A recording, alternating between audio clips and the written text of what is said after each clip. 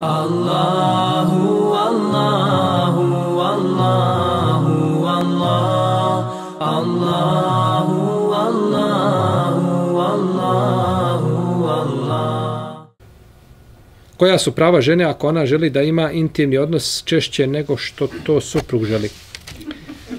A, pitanje, pitanje a,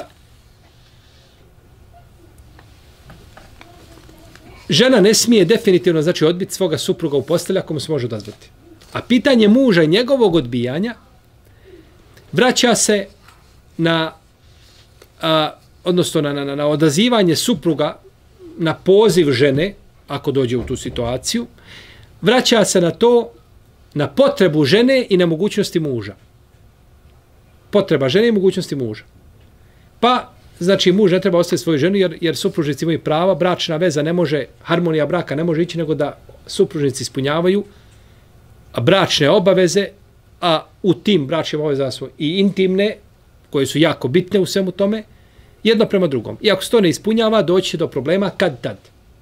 Jer Allah je uzvišen i stvorio čovjek sa određenim potrebama i to se mora tako primiti, tako shvatiti, tako razumjeti, pa dužan je znači da ispunjava svoje obaveze prema ženi, Samo što se lema razilazi, je li to jedan put u četiri mjeseca?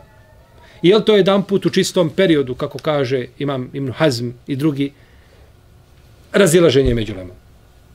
Ali ne treba, znači, muž da zaboravi svoju suprugu i njeno pravo, znači, kod njega, jer su muškarac i žena odjeća jedno drugom i jedno drugo čuvaju od nemorala.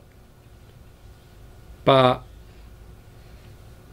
ne treba, znači, pustiti svoju suprugu da ovaj ima povoda da ona razmišlja o ili da se odzove šeitanskim nekakvim vesvesama, kao što ni ona treba pustiti njega. Jeste. Allahu, Allahu, Allahu, Allah, Allahu, Allahu, Allahu, Allah.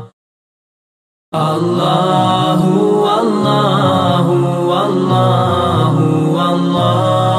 Allahu